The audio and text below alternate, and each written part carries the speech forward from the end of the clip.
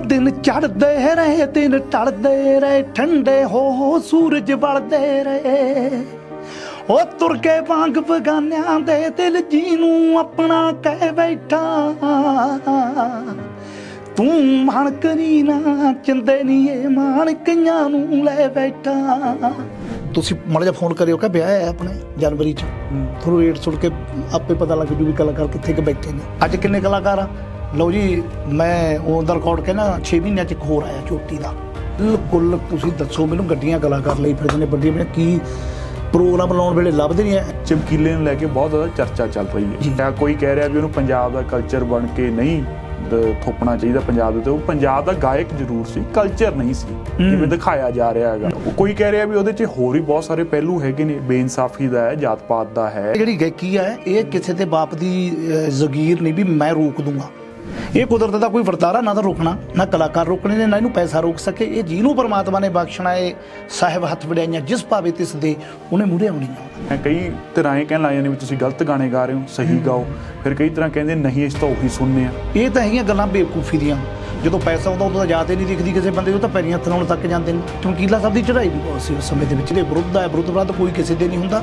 ਕੈਮਰੇ ਤੇ ਕਹਿ ਰਹੇ ਹਾਂ ਮੈਨੂੰ ਇਹ ਗੱਲ ਦਾ ਬੜਾ ਦੁੱਖ ਹੁੰਦਾ ਕਿ ਪੰਜਾਬ 'ਚ ਇੰਨੇ ਪੜ੍ਹ ਲਿਖ ਕੇ ਵੱਡੀਆਂ ਵੱਡੀਆਂ ਪੋਸਟਾਂ ਤੇ ਬੈਠੇ ਲੋਕ ਸਿੱਧੇ ਢੰਗ ਨਾਲ ਕੰਮ ਨਹੀਂ ਕਰ ਸਕਦੇ ਬਿਨਾਂ ਪੈਸੇ ਤੋਂ। ਤੁਸੀਂ ਅੰਦਾਜ਼ਾ ਲਓ ਫਿਰ ਕਿੱਥੇ ਦੇਸ਼ ਜਾਊ ਜਾਂ ਕਿੱਥੇ ਸਟੇਟ ਜਾਊਗੀ। ਪਰ ਤੁਹਾਡੇ ਇੰਡਸਟਰੀ 'ਚ ਬਹੁਤ ਸਾਰੇ ਲੋਕ ਖੜੇ ਹੋ ਗਏ ਮੈਂ ਕਹਿੰਦਾ ਲਾਈਨ ਚੇਂਜ ਹੋਣੀ ਚਾਹੀਦੀ ਹੈ ਸਾਡੀ ਲਾਈਨ ਦੇ ਬੰਦਿਆਂ ਨੂੰ ਆਉਣਾ ਚਾਹੀਦਾ ਤੇ ਕਿਸੇ ਦਾ ਨਿੱਜੀ ਜਾਇਦਾਦ ਨਹੀਂ ਹੈ ਵੀ ਉਹੀ ਉਹਨਾਂ ਨੂੰ ਠੇਕੇ ਤੇ ਲਿਆ ਹੋਇਆ ਕੰਮ ਉਹਨਾਂ ਨੇ ਵੀ ਇਹੀ ਕਰਨਗੇ। ਤੁਹਾਡਾ ਨਹੀਂ ਜੀ ਕਰਿਆ ਸਿਆਸਤ ਚ ਆਉਣ ਦਾ। ਤੁਹਾਡਾ ਸਾਰਿਆਂ ਦਾ ਸਵਾਗਤ ਮੈਂ ਸ਼ੁਭਕਰਮਨ ਸਿੰਘ ਢਾਲੀਵਾਲ ਅੱਜ ਸਾਡੇ ਸਟੂਡੀਓ ਪਹੁੰਚੇ ਨੇ ਬਾਈ ਹਰਜੀਤ ਹਰਮਨ ਜੀ। ਹਰਜੀਤ ਹਰਮਨ ਜੀ ਜਦੋਂ ਐਲਬਮ ਆਈ ਸੀ ਪੰਜੇਬਾਂ ਉਹਦਾ ਬਹੁਤ ਜ਼ਿਆਦਾ ਕਰੇਜ਼ ਸੀ। ਸਾਰੀ ਨੌਜਵਾਨ ਪੀੜ੍ਹੀ ਉਹਨੂੰ ਉਹਦੇ ਗੀਤ ਜਿਹੜੇ ਆ ਜਦੋਂ ਵੀ ਉਹਨਾਂ ਨੂੰ ਮੌਕਾ ਮਿਲਦਾ ਗੁੰਗਣਾਉਂਦੇ ਰਹਿੰਦੇ ਸੀ। ਸਕੂਲਾਂ ਕਾਲਜਾਂ ਦੇ ਵਿੱਚ ਮੁੰਡੇ ਫੀਲਿੰਗਾਂ ਲੈਂਦੇ ਹੁੰਦੇ ਸੀ ਗੀਤ ਗਾ ਗਾ ਕੇ। ਅੱਜ ਸਾਡੇ ਨਾਲ ਨੇ ਉਹਨਾਂ ਨਾਲ ਗੱਲਬਾਤ ਕਰਦੇ ਹਾਂ। ਬਾਈ ਜੀ ਬਹੁਤ ਬਹੁਤ ਸਵਾਗਤ ਹੈ। ਜਿੰਨੇ ਵੀ ਤੁਸੀਂ ਦੇਖ ਰਹੇ ਹੋ ਸਾਰਿਆਂ ਨੂੰ ਸਤਿ ਸ੍ਰੀ ਅਕਾਲ। ਜਿਹੜੇ ਤੁਸੀਂ ਪੰਜੇਬਾਂ 'ਚ ਗੀਤ ਗਾਏ ਜਾਂ ਹੁਣ ਤੱਕ ਤੁਸੀਂ ਜੱਟ 24 ਕੈਰਟ ਦਾ ਗੀਤ ਹੈ। ਜੀ ਭਾਈ ਇਹ ਜਦ ਤੁਸੀਂ ਗਾਉਣੇ ਹੋ ਉਦੋਂ ਵੀ ਬਹੁਤ ਜ਼ਿਆਦਾ ਚੱਲਦੇ ਨੇ ਹਨਾ? ਪਰ ਅੱਜ ਕੱਲ ਦਾ ਮਾਹੌਲ ਜਿਹੜਾ ਹਿਪ ਹੌਪ ਵਾਲਾ ਆ ਗਿਆ ਜਾਂ ਉਵੇਂ ਆ ਗਿਆ ਜੋ ਹੋਰ ਕੋਈ ਟਰਾਈ ਕਰਦਾ ਉਹਨਾਂ ਦੇ ਕਿਉਂ ਨਹੀਂ ਚੱਲ ਪਾਉਂਦੇ?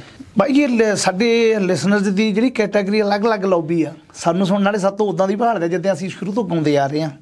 ਤੇ ਦੂਜਿਆਂ ਦਾ ਜੋ ਹੈ ਢੰਗ ਗਾਉਣ ਦਾ ਉਹ ਅਲੱਗ ਹੈ।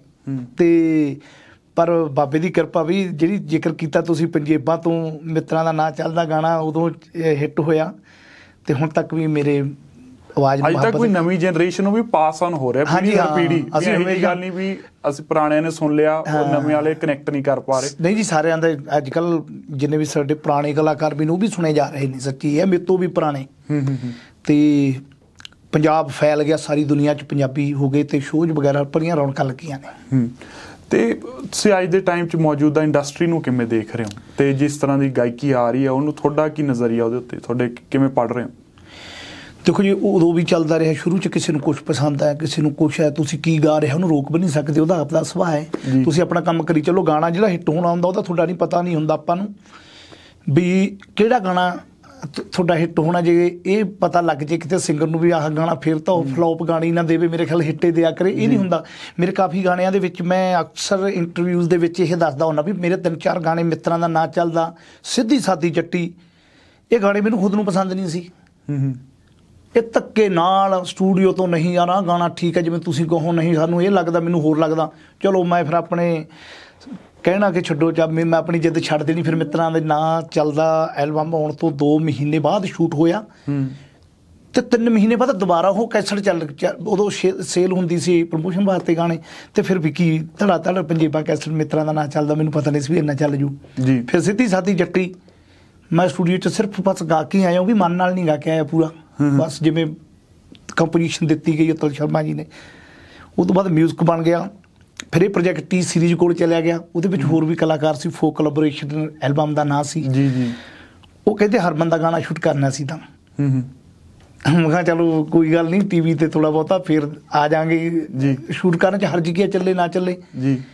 ਤੇ ਪਰ ਉਹ ਕਮਾਲ ਦਾ ਹਿੱਟ ਹੋਇਆ ਜਦੋਂ ਰਿਲੀਜ਼ ਹੋਇਆ 15 ਕੁ ਦਿਨ ਬਾਅਦ ਫੋਨ ਬਾਈ ਜੀ ਕਮਾਲ ਹੈ ਕਿ ਆ ਕਿੱਥੋਂ ਗਾਣਾ ਗਾਇਆ? ਕੁਝ ਨਹੀਂ ਪਤਾ ਹੁੰਦਾ। ਸੋ ਕੰਮ ਕਰਦੇ ਰਹੋ ਬਾਕੀ ਪਰਮਾਤਮਾ ਨੇ ਦੇਈ ਜਾਣਾ। ਜੀ ਇੱਕ ਬਾਹਰ ਆ ਕੇ ਤਾਂ ਲੋਕ ਅਸੀਂ ਬੜੇ ਸੁਣਦੇ ਆ ਇਨਫੈਕਟ ਮੈਂ ਵੀ ਇਹ ਬੜਾ ਸੁਣ ਨਿਰਮੋਹੀ ਨਗਰੀ ਜਿਹੜਾ ਗਾਣਾ। ਆਇਆ ਸੀਗਾ ਉਹ ਬੜਾ ਪ੍ਰਵਾਸੀਆਂ 'ਚ ਬਹੁਤ ਵਧੀਆ ਪ੍ਰਗਟ ਸਿੰਘ ਉਹਨਾਂ ਦੀ ਲੇਖਣੀ ਦੇ ਵਿੱਚ ਬੜੀਆਂ ਕਮਾਲ ਦੀਆਂ ਗੱਲਾਂ ਹੁੰਦੀਆਂ ਸੀ। ਜਿ- ਜਿ- ਮੈਂ ਜਿਸ ਵਿਸ਼ੇ ਨੂੰ ਵੀ ਉਹਨਾਂ ਨੇ ਟੱਚ ਕੀਤਾ ਪਰਦੇ- ਪਰਦੇਸੀਆਂ ਦਾ ਹੋਵੇ ਉਹ ਜਦੋਂ ਇਹ ਗਾਣਾ ਲਿਖਿਆ ਉਹ ਕਹਿੰਦੇ ਵੀ ਇਹ ਗੱਲ ਤਾਂ ਹਰ ਇੱਕ ਗੀਤਕਾਰ ਜਾਂ ਕਲਾਕਾਰ ਨੇ ਗਾਤੀ ਵੀ ਮੈਨੂੰ ਘਰ ਚੇਤੇ ਯਾਦਾਂ ਹੀ ਆਉਂਦੀਆਂ ਨੇ ਆਪਣੀਆਂ ਪੰਜਾਬ ਦੀਆਂ। ਬਿਲਕੁਲ। ਉਹ ਕਹਿੰਦਾ ਆਪਾਂ ਇਹ ਨਹੀਂ ਗਾਵਾਂਗੇ ਆਪਾਂ ਗਾਵਾਂਗੇ ਵੀ ਪਰਦੇਸੀ ਹੋਏ ਤਾਂ ਹੋਏ ਕਿਉਂ? ਸਾਡੇ ਸਿਸਟਮ ਕਰਕੇ ਜਾਂ ਰੁਜ਼ਗਾਰ ਨਹੀਂ ਮਿਲਦਾ। ਜਾਂ ਉੱਥੇ ਕਹਿ ਲਈਏ ਕਿ ਸਰਕਾਰਾਂ ਦੇ ਵੀ ਚੰਗੇ ਨਹੀਂ ਲੋਕਾਂ ਨਾਲ ਹਿਸਾਬ ਕਿਤਾਬ। ਅੱਕਿਆ ਹੋਇਆ ਬੰਦਾ ਇੱਥੇ ਆਉਂਦਾ ਵੀ ਸ਼ੁਕਰ ਹੈ ਯਾਰ ਕੰਮ ਕਰਕੇ ਰਾਹ ਨਹੀਂ। ਦਿਸਦਾ ਉੱਥੇ। ਰਾਹ ਉਹਦੇ ਦਿਖਦਾ ਹੀ ਨਹੀਂ। ਤੇ ਕੁਝ ਮਾਹੌਲ ਹੈ, ਸਾਰੇ ਇੰਡੀਆ ਦੀ ਇਦਾਂ ਦਾ ਮਾਹੌਲ ਹੈ। ਜੀ। ਤੇ ਇਸ ਕਰਕੇ ਫਿਰ ਇੱਥੇ ਆ ਕੇ ਅਗਲਾ ਮਿਹਨਤ ਕਰਦਾ ਮੈਂ ਆਪਣੇ ਪੈਰਾਂ ਤੇ ਖੜਾ ਹੋ ਜਾਂਦਾ। ਹਾਲਾਂਕਿ ਉੱਥੇ ਖੜਿਆਂ ਨੂੰ ਖੜਨਾ ਔਖਾ ਹੈ ਵੀ ਕਦੋਂ ਡਿੱਗ ਜਾਾਂਗੇ ਇਹ ਨਹੀਂ ਪਤਾ ਹੁੰਦਾ। ਜੀ। ਸੋ ਇਸ ਕਰਕੇ ਆ ਇੱਥੇ ਆਉਣਾ ਪਸੰਦ ਕਰਦਾ ਅਗਲਾ।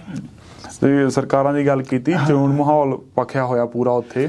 ਹਾਂ ਮੈਂ ਮੈਂ ਮੈਨੂੰ ਹੋ ਗਏ 20 ਕੁ ਦਿਨ ਹੋ ਗਏ ਆਏ ਨੂੰ ਯੂਕੇ ਸੀਗੇ ਸਾਡੇ ਸ਼ੋਜ਼ ਵਗੈਰਾ ਤੇ ਹੁਣ ਜਾ ਕੇ ਦੇਖਦੇ ਆ ਮਾਹੌਲ ਕੀ ਪਰ ਤੁਹਾਡੇ ਇੰਡਸਟਰੀ 'ਚ ਬਹੁਤ ਸਾਰੇ ਲੋਕ ਖੜੇ ਹੋ ਗਏ। ਕਰਮਜੀਤ ਅਨਮੋਲ ਕਰਮਜੀਤ ਹੰਸ ਅਨਮੋਲ ਰਾਜ ਵੀ ਖੜੇ ਨੇ। ਕਿੰਨੇ ਜਾਣੇ ਆ। ਗਏ?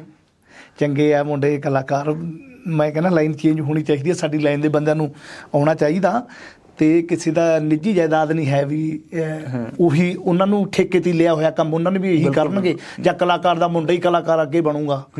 ਤੇ ਮਾਸਟਰ ਦਾ ਮੁੰਡਾ ਹੀ ਮਾਸਟਰ ਬਣੂਗਾ ਇਹ ਚੱਲਦੀ ਆਉਂਦੀ ਆ ਰੀਤ ਤੇ ਜਾਂ ਕਹਿ ਕਿ ਲੀਡਰ ਦਾ ਮੁੰਡਾ ਹੀ ਗਾਹਾਂ ਅੱਗੇ ਲੀਡਰ ਬਣੂ। ਸੋ ਚੰਗੀ ਆ ਪਿਛਲੀ ਵਾਰੀ ਸਰਕਾਰ ਲੋਕਾਂ ਨੇ ਬਦਲਤੀ ਤੇ ਵੋਟਾਂ ਫਿਰ ਦੱਸ ਦਿੰਦੀਆਂ ਵੀ ਕਿੰਨਾ ਕੁ ਕੰਮ ਕੀਤਾ ਉਹ ਵੋਟਾਂ ਤੋਂ ਪਤਾ ਲੱਗ ਜਾਂਦਾ। ਹੂੰ। ਸਾਡੀ ਤਾਂ ਬੜੀ ਨੇੜਤਾ ਗੁੜੀ ਯਾਰੀ ਹੈ ਮੁੱਖ ਮੰਤਰੀ ਪੰਜਾਬ ਨਾਲ ਵੀ। ਹਾਂ ਭਗਵੰਤ ਬਹੁਤ- ਸਿੰਘ ਮਾਨ ਨਾਲ। ਉਦੋਂ ਤੋਂ ਹੀ ਉਦੋਂ ਤਾਂ ਪਤਾ ਨਹੀਂ ਸੀ ਵੀ ਮੁੱਖ ਮੰਤਰੀ ਬਣ ਜਾਣਾ ਉਹਨਾਂ ਨੂੰ ਉਹ ਕਰਦੇ ਰਹਿੰਦੇ ਸੀ ਮਿਹਨਤ ਆਪਣੇ ਫੀਲਡ ਦੇ ਵਿੱਚ। ਪਰ ਉਹਨਾਂ ਦੀ ਤਾਂ ਗਾਰੰਟੀ ਹੈ ਸੱਚੇ ਸੁੱਚੇ ਬੰਦੇ ਨੇ ਉਹ ਵਧੀਆ। ਆਪਾਂ ਤਾਂ ਕਰਕੇ ਸਪੋਰਟ ਕੀਤੀ ਤੇ ਆਪਾਂ ਤਾਂ ਹੁਣ ਵੀ ਕਰਦੇ ਹਾਂ। ਤੇ ਤੁਸੀਂ ਆਪਦੇ ਹਿਸਾਬ ਨਾਲ ਜਦੋਂ ਵੀ ਤੁਹਾਨੂੰ ਮੌਕਾ ਮਿਲਦਾ ਹੈ ਜਾਂ ਤੁਹਾਡੀ ਉਹਨਾਂ ਨਾਲ ਕੀ ਗੱਲਬਾਤ ਹੁੰਦੀ ਹੈ ਤੁਸੀਂ ਆਪਣੇ ਵੱਲੋਂ ਕੀ ਫੀਡਬੈਕ ਦਿੰਦੇ ਹੋ ਉਹਨਾਂ ਨੂੰ? ਕਿਉਂਕਿ ਤੁਸੀਂ ਬਾਹਰ ਬਿਲਕੁਲ ਮਿਲਦੀ ਆ। ਮੈਂ ਉਹ ਉਹ ਸਮਝਾਉਂਦੇ ਹੁੰਦੇ ਆ ਕਈ ਵਾਰ ਹੁਣ ਅੱਜ ਤੇ ਚੋਣ ਪ੍ਰਚਾਰਾਂ ਦੇ ਵਿੱਚ ਵੀ ਤਾਣਾ ਬਾਣਾ ਉਲਝੇ ਹੀ ਇੰਨਾ ਜਿਵੇਂ ਕਿ ਥਾਣੇ ਠੇਕੇ ਤੇ ਦੇ ਕੇ ਇੱਧਰ ਕਰਤਾ ਵੀ ਮਤਲਬ ਉਹਨੂੰ ਮਾੜਾ ਜਿਹਾ ਟਾਈਮ ਚਲੋ ਆਪਾਂ ਕਹਿੰਦੇ ਨੇ ਵੀ ਹੁਣੇ ਹੋ ਜੂ। ਚੁਟਕੀ ਵਾਲਾ ਤਾਂ ਮੈਨੂੰ ਵੀ ਲੱਗਦਾ ਨਹੀਂ ਹੁੰਦਾ ਵੀ ਹੁੰਦਾ। ਤੇ ਬਾਕੀ ਸਾਡੀ ਅਫਸਰਸ਼ਾਹੀ ਹੈ ਜਿਹੜੀ ਹੁਣ ਮੈਂ ਇਹ ਚਲੋ ਕੈਮਰੇ ਤੇ ਹੀ ਕਹਿ ਰਿਹਾ। ਜੇ ਸਾਡੇ ਮਿਊਜ਼ੀਸ਼ੀਅਨ ਸਾਥ ਨਾ ਦੇਣ ਹੂੰ। ਕਲਾਕਾਰ ਕਿੱਡਾ ਮਰਜ਼ੀ ਆ ਜੇ। ਮੈਨੂੰ ਇਹ ਗੱਲ ਦਾ ਬੜਾ ਦੁੱਖ ਹੁੰਦਾ ਕਿ ਪੰਜਾਬ 'ਚ ਇੰਨੇ ਪੜ੍ਹ ਲਿਖ ਕੇ ਵੱਡੀਆਂ ਵੱਡੀਆਂ ਪੋਸਟਾਂ ਤੇ ਬੈਠੇ ਲੋਕ ਸਿੱਧੇ ਢੰਗ ਨਾਲ ਕੰਮ ਨਹੀਂ ਕਰ ਸਕਦੇ ਬਿਨਾਂ ਪੈਸੇ ਤੋਂ। ਤੁਸੀਂ ਅੰਦਾਜ਼ਾ ਲਓ ਫਿਰ ਕਿੱਥੇ ਦੇਸ਼ ਜਾਊ ਜਾਂ ਕਿੱਥੇ ਸਟੇਟ ਜਾਊਗੀ। ਹੂੰ ਇਹ ਹਾਲਾਤ ਸਾਡੇ ਉੱਥੇ ਦੇ ਨੇ। ਜੇ ਉਹ ਆਪਣਾ ਕੰਮ ਸਹੀ ਇਮਾਨਦਾਰ ਨਾਲ ਕਰਨ ਮੈਨੂੰ ਲੱਗਦਾ ਉਹਨਾਂ ਨੂੰ ਇਦੋਂ ਵਧੀਆ ਕੋਈ ਸਰਕਾਰ ਹੀ ਨਹੀਂ ਮਿਲਣੀ ਕੋਈ ਪ੍ਰੈਸ਼ਰ ਨਹੀਂ ਅੱਜ ਦੀ ਘੜੀ ਕਿਸੇ ਤੇ ਕੋਈ ਐਮਐਲਏ ਦਾ ਪ੍ਰੈਸ਼ਰ ਨਹੀਂ। ਇੱਕ ਨਵੀਂ ਉਹਨਾਂ ਨੂੰ ਆ। ਹੁਣ ਉਹਨਾਂ ਦੇ ਹੱਥ ਹੈ ਵੀ ਇਹ ਉਹ ਆਪਣਾ ਕੰਮ ਕਿੰਨਾ ਕੁ ਇਮਾਨਦਾਰੀ ਨਾਲ ਕਰਦੇ ਨੇ। ਤੇ ਅੱਗੇ ਦਾ ਮਾਹੌਲ ਇਹ ਹੁੰਦਾ ਸੀ ਵੀ ਜਿਹੜੇ ਲੀਡਰ ਦਾ ਏਰੀਆ ਆ ਗਿਆ ਉਹਦੀ ਸਾਰਾ ਅਫਸਰਸ਼ਾਹੀ ਉਹ- ਉਹਦੇ ਦਬਦਬਾ ਹੁੰਦਾ ਵੀ ਆਪਣੀ ਆ। ਜ਼ਿਲ੍ਹੇ 'ਚ। ਹੂੰ ਹੂੰ। ਫਲਾਣਾ ਸਿੰਘ ਪਰ ਹੁਣ ਉਦਾਂ ਦਾ ਹੈ ਨਹੀਂ। ਉਹ ਕਈ ਕਹਿੰਦੇ ਨੇ ਤਾਂ ਸ਼ਰੀਫ ਵਾਲੇ ਨੇ ਜੀ। ਜੇ ਉਹਨਾਂ ਨੂੰ ਮਤਲਬ ਮੈਂ ਸੋਚਦਾ ਹੁਣ ਨਾ ਕਰਨਾ ਤਾਂ ਮੈਂ ਹੈ ਨਹੀਂ। ਤੇ ਮੈਨੂੰ ਲੱਗਦਾ ਵੀ ਅਫਸਰਸ਼ਾਹੀ ਜਿਹੜੀ ਹੈਗੀ ਉਹਨਾਂ ਨੂੰ ਵੀ ਆਪਣਾ ਫਰਜ਼ ਨਿਭਾਉਣ ਦਾ ਟਾਈਮ ਹੈ। ਹੁਣ ਨਿਭਾ ਦੇਣਾ ਚੰਗੀ ਗੱਲ ਆ। ਤੇ ਲੋਕ ਇਹ ਮਾੜਾ ਜਿਹਾ ਸੁੱਖ ਦਾ ਸਾਹ ਲੈ ਲੈਣ। ਤੇ ਪੰਜਾਬ ਦੇ ਲੋਕਾਂ ਦਾ ਰੋਲ ਕਿਵੇਂ ਦੇਖਦੇ ਹੋਗੇ? ਕਈ ਵਾਰ ਐਂ ਵੀ ਦੇਖਣ ਨੂੰ ਮਿਲਦਾ ਹੁਣ ਆਮ ਆਦਮੀ ਪਾਰਟੀ ਨੂੰ ਚੁਣ ਲਿਆ। ਬਹੁਤ ਵਾਰੀ ਇਹ ਵੀ ਖਬਰਾਂ ਆਉਂਦੀਆਂ ਨੇ ਵੀ ਆਮ ਆਦਮੀ ਪਾਰਟੀ ਤੋਂ ਖੁਸ਼ ਵੀ ਨਹੀਂ ਹੈਗੇ ਲੋਕ। ਤਾਂ ਤੁਸੀਂ ਲੋਕਾਂ ਦੇ ਰੁਝਾਨ ਨੂੰ ਕਿਵੇਂ ਦੇਖਦੇ ਹੋਗੇ? ਲੋਕਾਂ ਦੇ ਰੁਝਾਨ ਬਾਈ ਜੀ ਇਹ ਵੋਟਾਂ ਦੱਸਣਗੀਆਂ ਸਹੀ। ਜੇ ਤਾਂ ਹੁਣ ਉਹ ਉਹ ਉਧਰੋਂ ਕੰਮ ਹੋ ਗਏ। ਮੈਂ ਅਕਸਰ ਕਈ ਵਾਰ ਕਚਹਿਰੀਆਂ 'ਚ ਪ੍ਰੋਬਲਮਾਂ ਹੁੰਦੀਆਂ ਐਨਓਸੀ ਵਗੈਰਾ ਦੀਆਂ। ਕਹਿੰਦੇ ਸਾਡੀਆਂ ਜਿਹੜੀਆਂ ਪਿਛਲੀਆਂ ਨੀਤੀਆਂ ਬਣੀਆਂ ਚਲੋ ਆਪਾਂ ਅੱਜ ਗੱਲਾਂ ਹੀ ਆਪਣੇ ਉਹ ਤੋਂ ਹਟ ਕੇ ਕਰਨ ਲੱਗੇ ਚਲੋ ਇਹ ਵੀ ਕਰ ਲੈਣੀਆਂ ਚਾਹੀਦੀਆਂ ਨੇ। ਹਾਲਾਂਕਿ ਮੇਰਾ ਫੀਲਡ ਤਾਂ ਗਾਉਣ ਦਾ ਹੈ। ਉਹ ਕਿਉਂਕਿ ਗਾਉਣ ਕਲਾਕਾਰ ਇਹ ਨਹੀਂ ਹੈਗਾ ਕੋਈ ਇਨਸਾਨ ਨਹੀਂ ਹੁੰਦਾ। ਸਾਡਾ ਵੀ ਵਾਹ ਵਾਸਤਾ ਉੱਥੇ ਪੈਂਦਾ ਹੈ? ਡੂੰਗੀ ਸੋਚ ਰੱਖਦੇ ਹੋ। ਵੱਖਰਾ ਨਜ਼ਰੀਆ ਹੁੰਦਾ। ਲੋਕ ਐਨਓਸੀਜ ਵਗੈਰਾ ਦਾ ਰੌਲਾ ਵੀ ਦੇਣੀਆਂ ਚਾਹੀਦੀਆਂ। ਕਿਤੇ ਪੈਸੇ ਦੇ ਕੇ ਮਿਲ ਜਾਂਦੀਆਂ ਕਿਵੇਂ ਮਿਲ ਜਾਂਦੀਆਂ ਉਹ ਕਹਿੰਦੇ ਵੀ ਪਿਛਲੀਆਂ ਸਰਕਾਰਾਂ ਦੀਆਂ ਨੀਤੀਆਂ ਨੇ, ਉਹ ਐਵੇਂ ਕਲੋਨੀਆਂ ਦੀਆਂ ਦੇਂਗੇ ਅਪਰੂਵ ਕਰੀਗੇ ਕਰੀਗੇ ਬਾਅਦ ਚ ਪ੍ਰੋਬਲਮ ਆਉਂਦੀ ਹੈ ਫਿਰ ਸਰਕਾਰ ਨੂੰ ਜ਼ਿੰਮੇਵਾਰ ਬਣਾਇਆ ਜਾਂਦਾ। ਉਹ ਕੋਈ ਨੀਤੀ ਇਹਨਾਂ ਨੇ ਬਣਾਈ ਆ, ਮੇਰੇ ਖਿਆਲ ਦੇ ਅਨਾਉਂਸ ਵੀ ਕੀਤੀ ਜਲਦੀ ਲਾਗੂ, ਕਹਿੰਦੇ ਕਰ ਦਿਆਂਗੇ ਵੀ ਸਹੀ ਢੰਗ ਨਾਲ। ਤੇ ਬਾਕੀ ਜਦੋਂ ਮੈਂ ਖੇਤਾਂ ਵਾਲਿਆਂ ਬਾਰੇ ਪੁੱਛਦਾ, ਜ਼ਿਆਦਾ ਤਾਂ ਕਿਸਾਨਾਂ ਨੂੰ ਲੋੜ ਹੁੰਦੀ ਹੈ ਹੁਣ ਮੈਂ ਗਾਇਕਾਂ ਮੈਨੂੰ ਹੋਰ ਚੀਜ਼ ਨਾਲ ਕੋਈ ਬੜਾ ਨਹੀਂ ਹੈਗਾ ਸਬੰਧ ਮੈਨੂੰ ਆਇਆ ਵੀ ਮੇਰੇ ਮੈਜੀਸ਼ੀਅਨ ਹੈਗੇ ਉੱਥੇ ਜਾਂ ਮੇਰੇ ਘਰ ਨੂੰ ਠੀਕ ਆ ਜਿੱਥੇ ਮੈਂ ਕੰਮ ਕਰੂੰਗਾ ਮੇਰਾ ਕੰਮ ਠੀਕ ਚੱਲਦਾ। ਤੇ ਕਿਸਾਨ ਨੂੰ ਚਾਹੀਦੀ ਆ ਬਿਜਲੀ ਕੰਮ ਕਰਨਾ ਸੌਖਾ ਹੋਵੇ ਫਸਲਾਂ ਛੇਤੀ ਵਿਕਣ ਇਹ ਕੰਮ ਹੋਇਆ ਇਹ ਮੈਂ ਮੈਂ ਗਵਾਹ। ਤੇ ਜਿਹੜੇ ਕੱਸੀਆਂ ਦੇ ਵਿੱਚ ਪਾਣੀ ਮੈਂ ਛੋਟੇ ਹੁੰਦੇ ਨੇ ਦੇਖਿਆ। ਸੂਏ ਕਹਿੰਦੇ ਨੇ ਤੁਹਾਡੇ ਪਤਾ ਨਹੀਂ ਮੈਨੂੰ ਕਿਵੇਂ ਕਹਿੰਦੇ ਹੋਣੇ ਉਹ- ਨਹਿਰਾਂ ਚੋਂ। ਉਹ ਮੈਂ ਸਾਡੀ ਮੋਟਰ ਤੇ ਪਿਛਲੀ ਵਾਰੀ ਦੇਖਿਆ। ਕਦੇ ਨਹਿਰਾਂ ਚੋਂ ਪਾਣੀ ਆਇਆ ਹੀ ਨਹੀਂ ਸੀ। ਪਰ ਜੇ ਇਦਾਂ ਦੇ ਕੰਮ ਹੋਈ ਜਾਣ ਉਹਦੇ ਨਾਲ ਲੋਕਾਂ ਨੂੰ ਜਿਵੇਂ ਬਿਜਲੀ ਵੀ ਇਹਨਾਂ ਨੇ ਕੀਤੀ ਆ ਮਾਫ ਕੀਤੀ ਆਮ ਲੋਕਾਂ ਦੀ। ਤੇ ਉਹ ਉਹ ਠੀਕ ਕਹਿੰਦੇ ਆ ਕਈ ਥਾਂ ਤੇ ਰਿਸ਼ਵਤਖੋਰੀ ਕਹਿੰਦੇ ਜ਼ਿਆਦਾ ਵੱਧ ਗਈ। ਮਤਲਬ ਸਾਰੇ ਪੱਖਾਂ ਨੂੰ ਦੇਖ ਕੇ ਵੋਟਾਂ ਹੁਣ ਮੇਰੇ ਖਿਆਲ ਦੇ ਵਿੱਚ ਇਹ ਖਾਸਾ ਕੰਮ ਤੁਹਾਡਾ ਨਹੀਂ ਜੀ ਕਰਿਆ ਸਿਆਸਤ ਚ ਆਉਣ ਦਾ? ਤੁਹਾਡੇ ਇੰਨੇ ਨੇੜੇ ਰਿਸ਼ਤੇ ਨੇ ਤੁਹਾਡੇ ਇੰਨੀ ਗੱਲ ਮੰਨਦੇ। ਤੁਹਾਨੂੰ ਨਹੀਂ ਕਿਹਾ ਵੀ ਆਜੋ ਭਾਈ ਹਰਜੀਤ ਸਰਮਨ ਤੁਸੀਂ ਖੜੇ ਹੋ ਚੋਣ ਮੈਦਾਨ 'ਚ? ਮੈਨੂੰ ਲੱਗਦਾ ਵੀ ਉਹ ਬਣਨਾ ਸੌਖਾ ਕਲਾਕਾਰ ਬਣਨਾ ਔਖਾ ਜੋ ਮੇਰੀ ਸੋਚ ਆ। ਜੀ। ਉਹ ਬਣ ਸਕਦੇ ਹੋ ਤੁਸੀਂ ਵੀ ਕਿਵੇਂ ਨਾ ਕਿਵੇਂ ਕੋਈ ਆਪਾਂ ਲਾ ਲਈਏ ਪਾਰਟੀ ਨਾਲ ਲੱਗ। ਜਾਈਏ। ਪਰ ਪ੍ਰਮਾਤਮਾ ਨੇ ਜੋ ਸਾਡੀ ਆਹ ਡਿਊਟੀ ਲਾਈ ਆ ਮੈਨੂੰ ਲੱਗਦਾ ਕੋਈ ਚੰਗੀ ਕਰਮ ਕੀਤੇ ਹੋਏ ਸੀ। ਟਿਕਟ ਆ- ਆਪਣੀ ਨਹੀਂ ਲੈਣੀ। ਚੱਲ ਵੀ ਵਿਆਹ ਵਾਲੇ ਨੇ ਦੇਤੀ ਚੱਲ ਚੜ ਗਏ ਇੱਧਰ ਨੂੰ ਚੜ ਗਏ ਤੋਂ ਵਧੀਆ ਮੈਨੂੰ ਨਹੀਂ ਲੱਗਦਾ ਵੀ ਰਾਜਨੀਤੀ ਸਾਡੇ ਕੰਮ ਤੋਂ ਵਧੀਆ ਤੇ ਇਮਾਨਦਾਰੀ ਨਾਲ ਅਸੀਂ ਆਪਣਾ ਕੰਮ ਕਰਦੇ ਹਾਂ ਲੋਕਾਂ ਨੂੰ ਖੁਸ਼ ਕਰਦੇ ਹਾਂ। ਉੱਥੇ ਜਾ ਕੇ ਜੇ ਬਣ ਵੀ ਜਾਂਦੇ ਆ ਫਿਰ ਪਤਾ ਨਹੀਂ ਅਗਲੇ ਦੀਆਂ ਉਮੀਦਾਂ ਤੇ ਖਰੇ ਉਤਰ ਪਾਵਾਂਗੇ ਜਾਂ ਕਰਾਂਗੇ ਕੋਸ਼ਿਸ਼ ਕੁਛ ਪਤਾ ਨਹੀਂ ਵੀ ਮੈਨੂੰ ਨਹੀਂ ਉਹ ਫੀਲਡ ਪਸੰਦ ਬਿਲਕੁਲ ਵੀ ਨਹੀਂ। ਅੱਛਾ ਤੁਹਾਨੂੰ ਕੋਰੀ ਨਾ। ਨਾ ਨਾ ਜੀ ਬਿਲਕੁਲ ਜੀ। ਉਹ ਆਫਰ ਤਾਂ ਹੋਈ ਹੋਊ ਬਥੇਰੀ ਨਹੀਂ ਨਹੀਂ ਬਿਲਕੁਲ। ਨਾ ਆਫਰ ਵੀ ਨਹੀਂ ਮੈਂ ਕਰਵਾਈ ਹੋਣੀ ਮੈਂ ਪਹਿਲਾਂ ਹੀ ਕਹਿ ਦਿੰਦਾ ਵੀ ਮੈਂ ਵੀ ਨਹੀਂ ਹੈ ਆਪਾਂ ਨੂੰ ਚ ਜੀ ਇੱਕ ਹਾਲ ਹੀ ਵਿੱਚ ਚਮਕੀਲੇ ਨੂੰ ਲੈ ਕੇ ਬਹੁਤ ਜ਼ਿਆਦਾ ਚਰਚਾ ਚੱਲ ਰਹੀ ਹੈ। ਸਰਗਾ ਜਿਹੜੇ ਮੂਵੀ ਆਈ ਹੈ ਉਹ ਤੋਂ ਬਾਅਦ ਬਹੁਤ ਤਰ੍ਹਾਂ ਦੇ ਵਿਚਾਰ ਆ ਰਹੇ ਨੇ ਸਾਹਮਣੇ। ਤੇ ਤੁਸੀਂ ਇਸ ਚੀਜ਼ ਨੂੰ ਕਿਵੇਂ ਦੇਖ ਰਹੇ ਹੋ ਜਿਸ ਤਰ੍ਹਾਂ ਕਿਆ ਕੋਈ ਕਹਿ ਰਿਹਾ ਵੀ ਉਹਨੂੰ ਪੰਜਾਬ ਦਾ ਕਲਚਰ ਬਣ ਕੇ ਨਹੀਂ ਥੋਪਣਾ ਚਾਹੀਦਾ ਪੰਜਾਬ ਦੇ ਉੱਤੇ। ਉਹ ਪੰਜਾਬ ਦਾ ਗਾਇਕ ਜ਼ਰੂਰ ਸੀ ਕਲਚਰ ਨਹੀਂ ਸੀ ਜਿਵੇਂ ਦਿਖਾਇਆ ਜਾ ਰਿਹਾ ਹੈਗਾ। ਤੇ ਕੋਈ ਕਹਿ ਰਿਹਾ ਵੀ ਉਹਦੇ 'ਚ ਹੋਰ ਵੀ ਬਹੁਤ ਸਾਰੇ ਪਹਿਲੂ ਹੈਗੇ ਨੇ ਬੇਇਨਸਾਫੀ ਦਾ ਹੈ ਜਾਤ ਪਾਤ ਦਾ ਹੈ ਵੀ ਉਦੋਂ ਜਿਸ ਤਰ੍ਹਾਂ ਦਾ ਦੌਰ ਸੀ ਉਹਦੇ 'ਚ ਬੜਾ ਕੁਝ ਹੋਰ ਵੀ ਦਿਖਾਇਆ ਗਿਆ ਹੈਗਾ।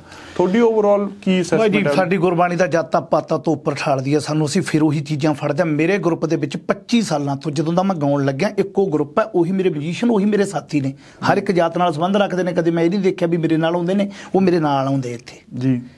ਕੋਈ ਕਿਸੇ ਧਰਮ ਨਾਲ ਇਹ ਤਾਂ ਹੈਗੀਆਂ ਗੱਲਾਂ ਬੇਵਕੂਫੀ ਦੀਆਂ। ਇਹ ਤਾਂ ਰੱਬ ਨੇ ਹੁਣ ਪਤਾ ਨਹੀਂ ਕਿੱਥੇ ਪੈਦਾ ਕਰਨਾ ਹੈ ਕੋਈ ਇਹ ਤਾਂ ਤਾਂ ਕੋਈ ਹੈ ਨਹੀਂ ਵੀ ਮੈਂ ਸਾਈਨ ਕਰਾ ਲਾਂ ਵੀ ਗਾਂ ਨੂੰ ਮੈਂ ਇੱਥੇ ਜਾਣਾ ਇਹ ਜਾਣਾ ਹਨਾ। ਇਹ ਉੱਥੇ ਏਡੀ ਕੋਈ ਗੱਲ ਵੀ ਨਹੀਂ ਸਾਰੇ ਅਫਸਰ ਵੀ ਵੱਖ-ਵੱਖ ਜਾਤਾਂ ਪਾਤਾਂ ਦਾ ਤਾਂ ਮੁੱਦਾ। ਜਦੋਂ ਪੈਸਾ ਆਉਂਦਾ ਉਦੋਂ ਤਾਂ ਜਾਤ ਹੀ ਨਹੀਂ ਦਿਖਦੀ ਕਿਸੇ ਬੰਦੇ ਉਹ ਤਾਂ ਪੈਰੀਂ ਹੱਥ ਲਾਉਣ ਤੱਕ ਜਾਂਦੇ ਨੇ। ਹੂੰ ਹੂੰ ਹੂੰ। ਜਦੋਂ ਬੰਦੇ ਦੀ ਗਰੀਬੀ ਹੁੰਦੀ ਹੈ ਫਿਰ ਜਾਤ ਵੀ ਚਾਹੇ ਉੱਚੀ ਹੋਵੇ ਫਿਰ ਉਹ- ਉਹਨੂੰ ਬੰਦੇ ਨੂੰ ਬੰਦਾ ਨਹੀਂ ਸਮਝਦੇ ਲੋਕ। ਦੇਖਿਓ ਤੁਸੀਂ ਜਾਤਾਂ ਜਾਤਾਂ ਵਾਲੇ ਦੇ ਪੈਰੀ ਚਾਹੇ ਆਪਾਂ ਕਹਿੰਦੇ ਉੱਚੀ- ਜਾਂ ਨੀਵੀਂ ਜਾਤ ਤੁਹਾਡੇ ਕੋਲ ਪੈਸਾ ਧੇਲੀ ਹੋਵੇ ਸਾਰੇ ਪੈਰਾਂ 'ਚ ਹੋਣਗੇ ਤੁਹਾਡੇ। ਇਹ ਤਾਂ ਬੇਵਕੂਫ ਦੀਆਂ ਗੱਲਾਂ ਪਰ ਇਹ ਆ ਵੀ ਚਮਕੀਲੇ ਸਾਹਿਬ ਦਾ ਮੈਨੂੰ ਕਦੇ ਪ੍ਰੋਗਰਾਮ ਮੈਂ ਦੇਖਿਆ ਹੀ ਨਹੀਂ ਉਸ ਦੌਰ ਦੇ ਵਿੱਚ। ਸਿਰਫ ਸਦੀਕ ਸਾਹਿਬ ਦੇ ਖਾੜੇ ਸੁਣੇ ਕਿ ਸਬੱਬੇ ਨਹੀਂ ਬਣਿਆ। ਪਰ ਉਦੋਂ ਮੈਨੂੰ ਥੋੜੀ ਥੋੜੀ ਸੁਰਤਾ ਵੀ ਮਾਹੌਲ ਬਹੁਤ ਖਰਾਬ ਸੀ 84 ਹੋ ਕੇ ਹਟਿਆ ਸੀ। ਕੁਝ ਮੇਰੇ ਖਿਆਲ ਜਥੇਬੰਦੀਆਂ ਨੇ ਵੀ ਕਿਹਾ ਵੀ ਤੁਸੀਂ ਇਹਦਾ ਵੀ ਇੰਨਾ ਖੁਸ਼ੀ ਨਾ ਮਨਾਓ ਆਪਣਾ ਜਿਵੇਂ ਕੋਈ ਸ਼ੋਕ ਦਾ ਟਾਈਮ ਹੁੰਦਾ ਉਹ ਚ ਸਾਰੀਆਂ ਗੱਲਾਂ ਹੋ ਗਈਆਂ। ਚਮਕੀਲਾ ਸਾਹਿਬ ਦੀ ਚੜ੍ਹਾਈ ਵੀ ਬਹੁਤ ਸੀ ਉਸ ਸਮੇਂ ਦੇ ਵਿੱਚ ਜੋ ਅਸੀਂ ਟੇਪਾਂ ਸੁਣਦੇ ਰਹੇ। ਉਹਨਾਂ ਦੇ ਜਿੱਥੇ ਦੂਜੀਆਂ ਗਾਣੇ ਚੱਲੇ ਫਿਰ ਹਾਂ ਹੁਣ ਸੁਣ ਲਓ ਤੁਸੀਂ ਚਾਹੇ ਧਾਰਮਿਕ ਟੇਪਾਂ ਨੇ ਵੀ ਬਹੁਤ ਵਧੀਆ ਮਤਲਬ ਹੁਣ ਵੀ ਸਕੂਨ ਦਿੰਦੀਆਂ ਜਦੋਂ ਮੈਂ ਸੁਣਦਾ ਸਾਤੋਂ ਬਾਬਾ ਖੋਲਿਆ ਤੇਰਾ ਨਨਕਾਣਾ ਪਰ ਉਹਦਾ ਕਾਰਨ ਸਬੱਬ ਕੀ ਬਣਿਆ? ਉਹ ਉਹਦੇ ਬਾਰੇ ਮੈਨੂੰ ਇਹਦੇ ਬਾਰੇ ਕੁਝ ਨਹੀਂ ਪਤਾ। ਵੀ ਕੀ ਹੋਇਆ? ਕੋਈ ਕਹਿੰਦਾ ਫਰੋਤੀ ਮੰਗੀ ਜੀ ਉਹਨਾਂ ਨੇ ਹੈਗਾ ਕੋਈ ਕੁਝ ਕਹਿੰਦਾ ਕੋਈ ਕੁਛ। ਪਰ ਹੁਣ ਸੋਸ਼ਲ ਮੀਡੀਆ ਤੇ ਕੁਛ ਨਾ ਕੁਛ ਆ ਰਿਹਾ ਮੈਂ ਇਹ ਤੋਂ being a part of industry ਹੋ ਤੁਸੀਂ ਨੇ ਲੰਬੇ ਸਮੇਂ ਤੋਂ ਇੱਥੇ ਕਾਮਯਾਬ ਕਲਾਕਾਰ ਹੋ ਤਾਂ ਲੋਕਾਂ ਦਾ ਪ੍ਰੈਸ਼ਰ ਕਿੰਨਾ ਕੁ ਹੁੰਦਾ ਹੈ ਤੇ ਹੋਰ ਪਾਸਿਓਂ ਕਿੰਨਾ ਕੁ ਪ੍ਰੈਸ਼ਰ ਹੁੰਦਾ? ਜਿਵੇਂ ਇੱਕ ਕਲਾਕਾਰ ਦੇ ਉਹਨੂੰ ਕਿੰਨੇ ਕਿੰਨੇ ਪ੍ਰੈਸ਼ਰਾਂ ਨਾਲ ਡੀਲ ਕਰਨਾ ਪੈਂਦਾ ਹੈ ਜਦੋਂ ਉਹਦੀ ਗਾਇਕੀ ਦੇ ਉੱਤੇ ਆ ਜਾਂਦੀ ਹੈ ਗੱਲ। ਜਦੋਂ ਲੋਕ ਕਹਿ ਕਈ ਤਰ੍ਹਾਂ ਇਹ ਕਹਿਣ ਲੱਗ ਜਾਂਦੇ ਵੀ ਤੁਸੀਂ ਗਲਤ ਗਾਣੇ ਗਾ ਰਹੇ ਹੋ ਸਹੀ ਗਾਓ। ਫਿਰ ਕਈ ਤਰ੍ਹਾਂ ਕਹਿੰਦੇ ਨਹੀਂ ਇਸ ਤਾਂ ਉਹੀ ਸੁਣਨੇ ਆ। ਦੇਖੋ ਗਾਣਾ ਮੇਰੀ ਸੋਚ ਆ। ਹੁਣ ਮੈਂ ਰੋਕਦਾ ਨਹੀਂ ਕਿਸੇ ਨੂੰ। ਇਹੋ ਜਿਹਾ ਨਹੀਂ ਹੋਣਾ ਚਾਹੀਦਾ ਜਿਹੜਾ ਸਾਡੇ ਯੂਥ ਨੂੰ ਖਰਾਬ ਕਰੇ। ਹੂੰ ਤੇ ਗਾਣਾ ਕਿੱਡਾ ਫੀਲਡ ਹੈ? ਹੁਣ ਗੁਰਦਾਸ ਮਾਨ ਸਾਹਿਬ ਕਿਹੜਾ ਗਾਉਂਦੇ ਨਹੀਂ ਸਤਿੰਦਰ ਸਤਾਜ ਕਿਹੜਾ ਗਾਉਂਦਾ ਨਹੀਂ ਮਨਮੋਹਨ ਵਾਰਸੂਰੀ ਕਿਹੜਾ ਗਾਉਂਦੇ ਹਰਭਜਨ ਮਾਨ ਨੂੰ ਕਿਹੜਾ ਉਹ ਕਿਹੜਾ ਵਿਹਲੇ ਬੈਠੇ ਆ ਘਰ 'ਚ? ਉਹਨਾਂ ਦਾ ਆਪਣਾ ਫੀਲਡ ਹੈ, ਵਧੀਆ।